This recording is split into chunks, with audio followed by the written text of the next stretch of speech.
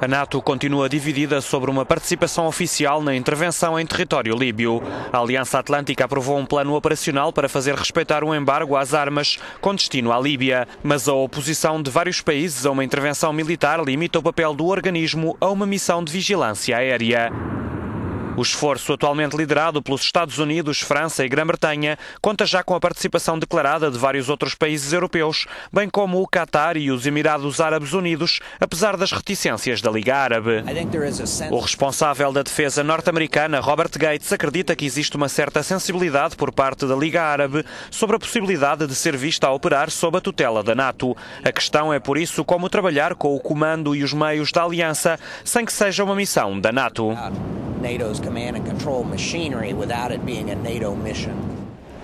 Os Estados Unidos querem que a Aliança Atlântica tome uma posição de comando. Segundo Gates, Washington não deve ter um papel predominante na coligação anti-Gaddafi e pretende passar nos próximos dias as rédeas à NATO ou a um comando misto britânico e francês.